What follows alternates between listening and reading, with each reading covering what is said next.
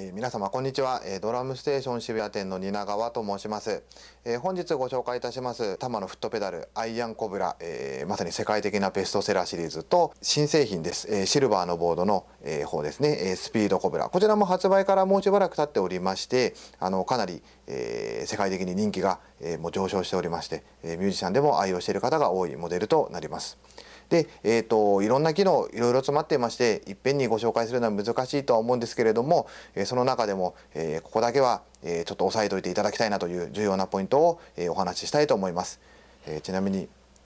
このバネ、えフットボードの下についておりますけれども、えー、なんだろうなって思ってらっしゃる方多いと思うんですが、えー、実際にはじゃあどういう役割なのか、えー、ここも重点的に解説できたらなと思います、えー、よろしくお願いいたします、え、それでは、えまずアイアンコブラシリーズの、えペダルをご紹介したいと思います、え今ここに置いてあるのは、えここに R という字が書いてあります、えローリンググライドというモデルですが、えこれは、えパワーグライドというもう一つの、え機種あとは、えフレキシグライドという機種、えどちらにも共通することで、えー、とご案内したいと思います、え一番ポイントとなる部分は、えこの下についております。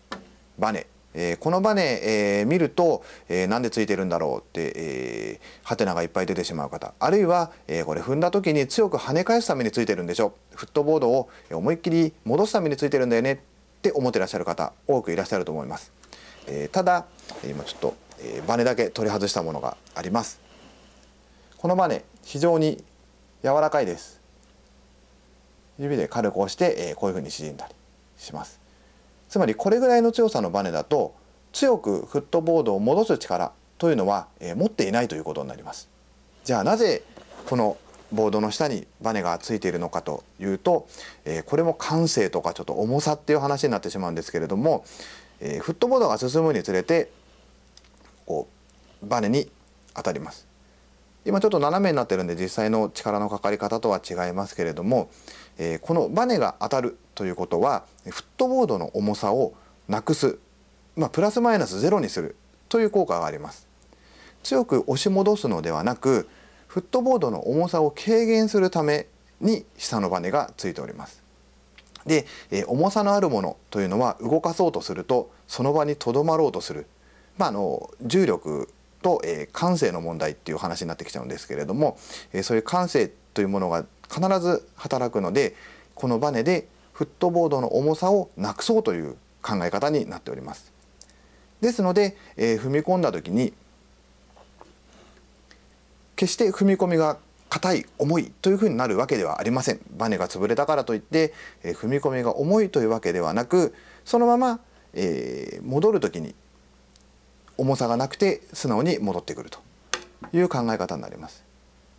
踏み込みも同様です踏んだ時の抵抗ではなくてえー、このフットボードの重さをなくすためにバネがついているのでスムーズになります。実際これを、えー、つけるつけないというのは、えー、簡単にワンタッチでできるんですけれども、えー、それで比べていただくと非常にわかると思います。バネがついていない方が踏み込みが重くなります。ついている方が軽い感触になります。もちろん調整でいろいろあるかと思うんですけれどもあの基本概念としてはこの重さをなくすためにバネがついているというところが非常に重要なポイントになってきます。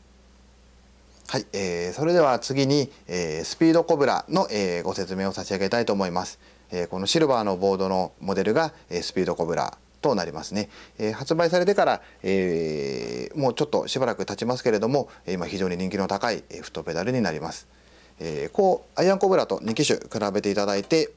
えー、まず目に入ってくるのはこのフットボードの長さですね、えー、視点かかとの位置が、えー、スピードコブラの方が後ろにつまりフットボードが長いモデルとなっております。えー、フットボードが長いということは、えー、テコの原理になりまして、えー、その分踏み込みが軽くなるということになります。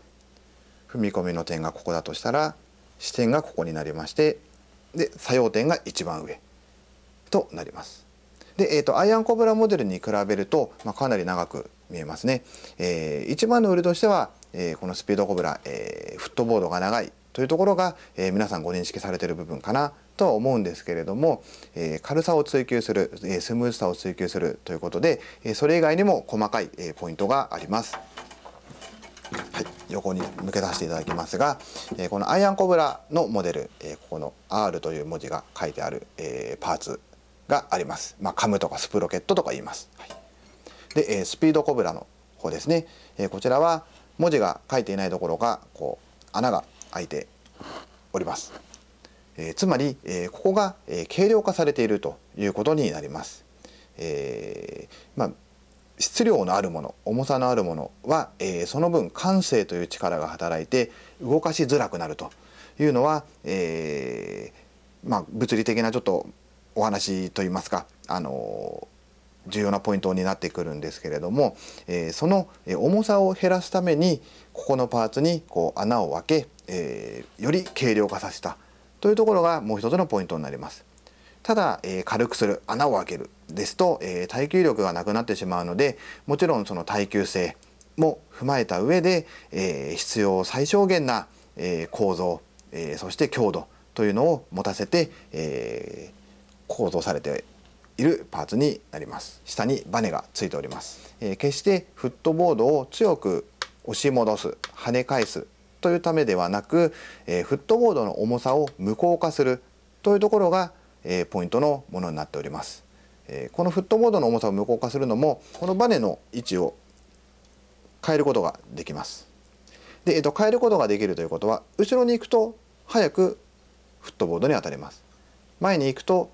ちょっと時間経ってからフットボードに当たります。えー、少し後ろにすると、えー、すぐにフットボードの重さが無効化されやすい。つまり非常に軽快な感触になりやすいと。こちらに持っていくとフットボードに当たるまでの時間が少しかかる距離がある分かかる。ということで、えー、最初の踏み出しは少しずっしりとした抵抗感のある感触がありつつ踏み込みが増すほど、えー、フットボードの重さが無効化されて軽くなる。で、えー、素早く戻ってくる。というふうに調整ができるようになっております。えー、ということで、えー、本日ご紹介しました、えー、タマのスピードコブラとアイアンコブラです、えー、軽さを追求する重さを追求する、えー、ドラマーそれぞれ、えー、プレイヤーによって個性があり、えー、いい意味で癖がありで何が正解っていうのはないと思うんですけれども、えー、こういったタマの、えー、フットペダルに、えー、隠されたといいますかあまり見えなかったいろいろなこう秘密といいますか、えー、ポイントが、えー、今回少しでも、えー、ご説明できたらいいなと思います。えー、皆さん、えー、いろいろ試してみていただいて、えー、お好みに合う方体に合う方を、えー、ぜひご使用いただければと思います。